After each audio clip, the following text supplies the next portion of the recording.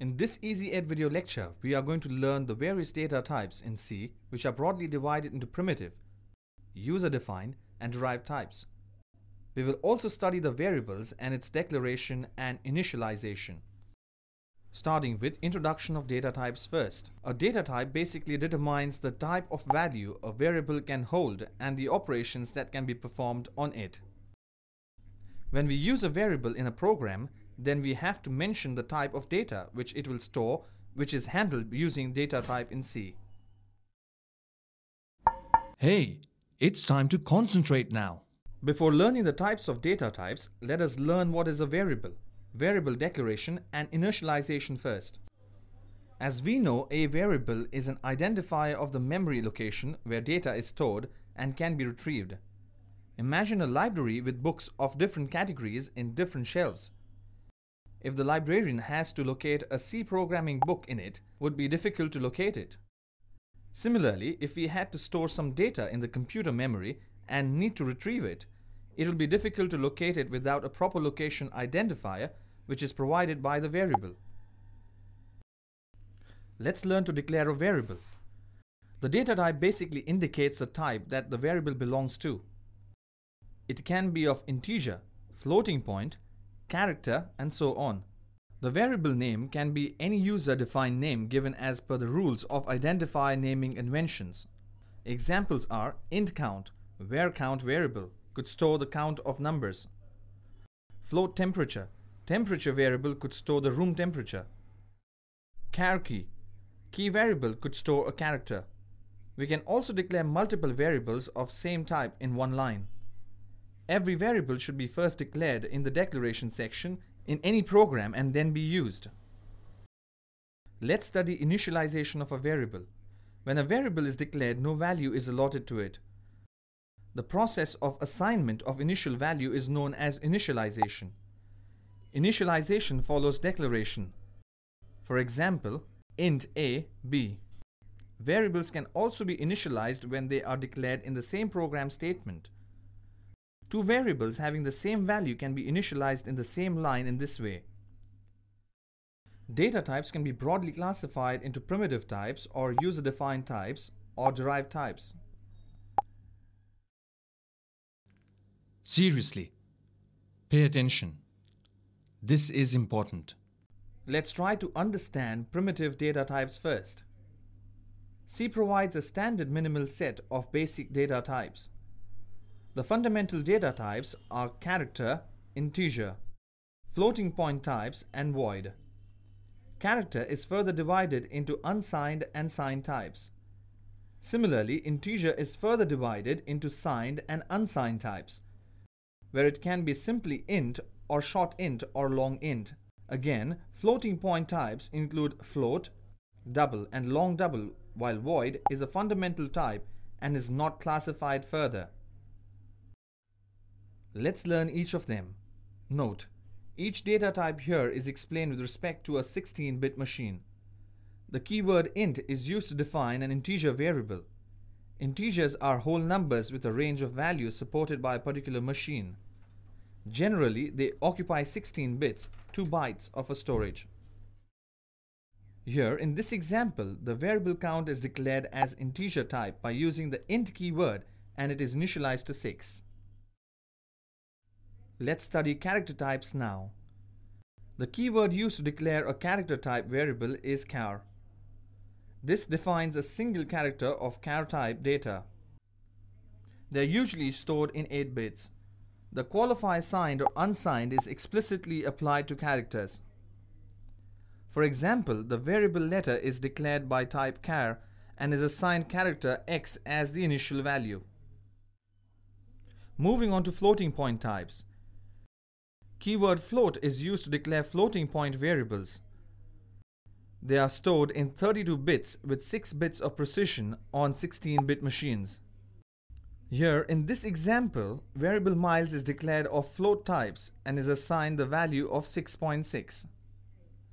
When the accuracy provided by floating point number is not sufficient, then the number can be defined as double precision floating point keyword used is double. It uses 64 bits of storage with a precision of 14 digits.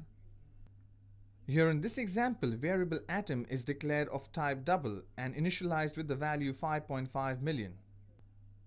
When more accuracy is needed, long double is used. Moving on the last primitive type which is the void type. They are valueless. Keyword used is void.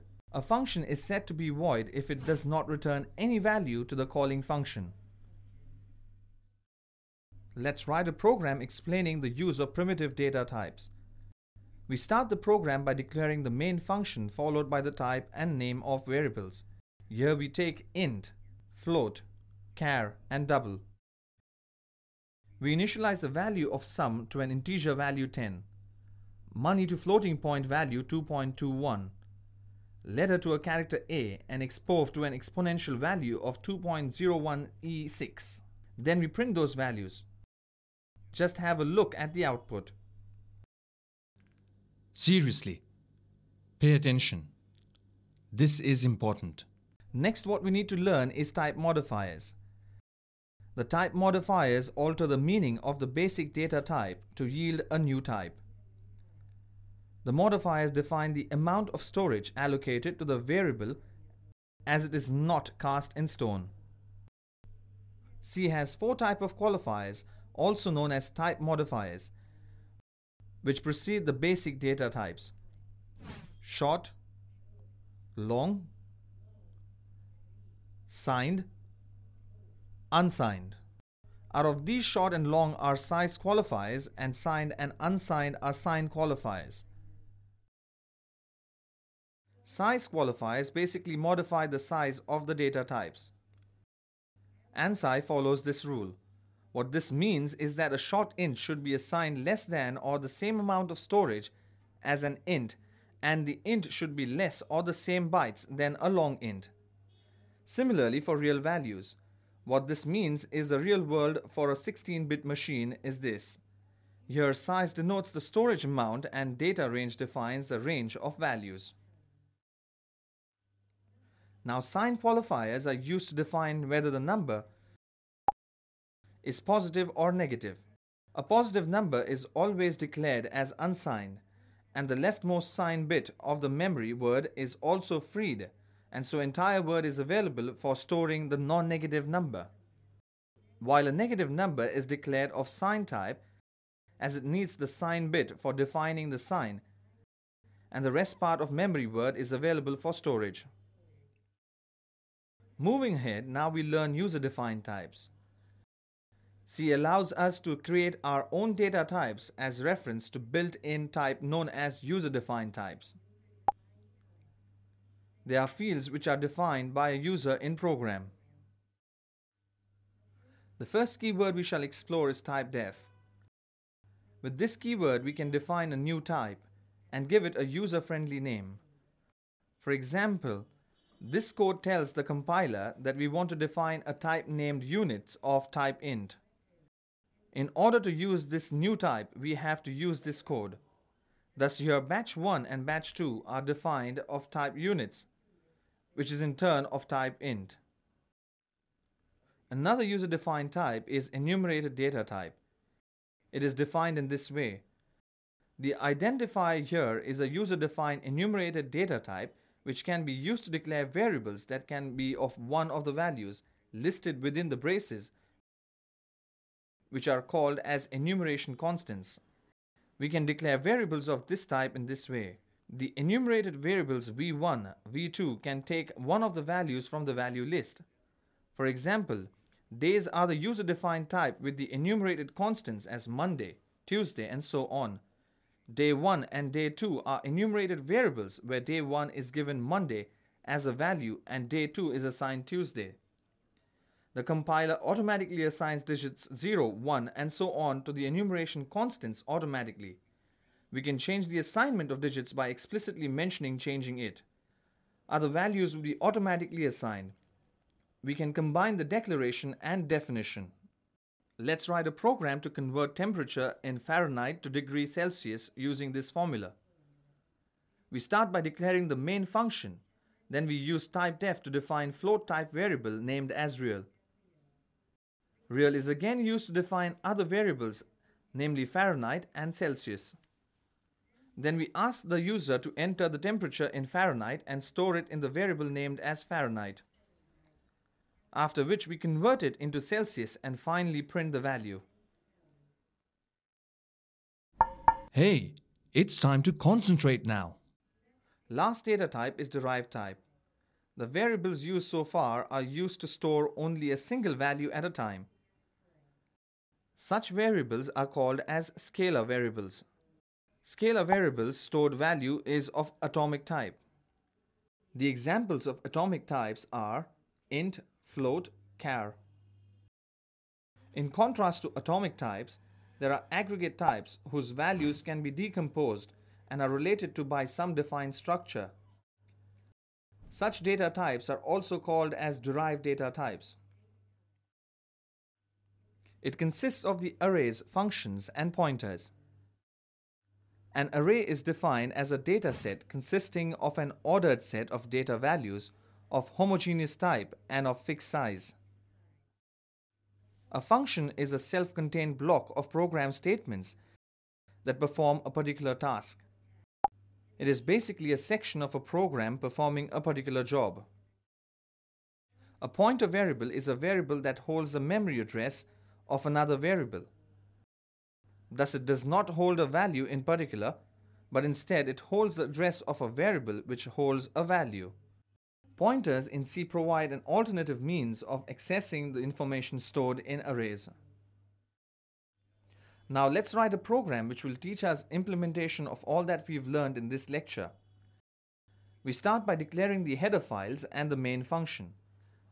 After which, we declare two floating point variables named as z, q and two double variables x, y, and another unsigned variable k. Then we declare and simultaneously initialize m as an integer variable and n as a long int. We assign values to variables z, x, y, k, q and y. Then we print their respective values on the terminal by using printf statement repeatedly.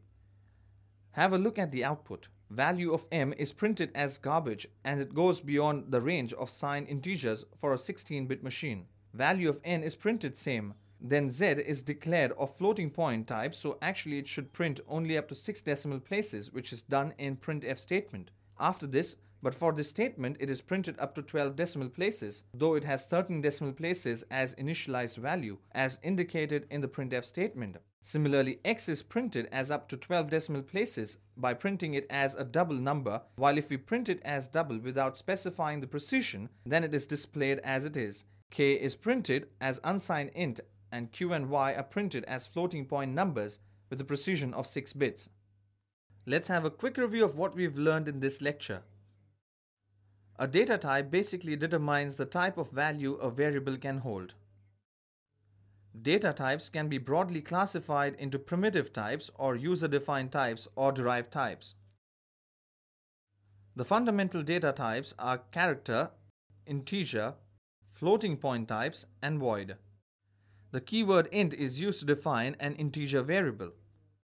Then the keyword used to declare a character type variable is char while the keyword float is used to store floating point values.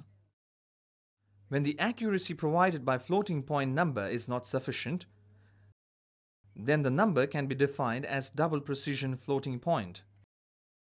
When more accuracy is needed, long double is used. Keyword void is used to declare valueless variables.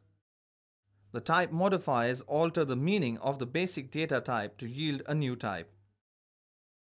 C has four type of qualifiers also known as type modifiers which precede the basic data types. Short Long Signed Unsigned Out of these, short and long are size qualifiers and signed and unsigned are sign qualifiers. Size qualifiers basically modify the size of the data types. Sign qualifiers are used to define whether the number is positive or negative.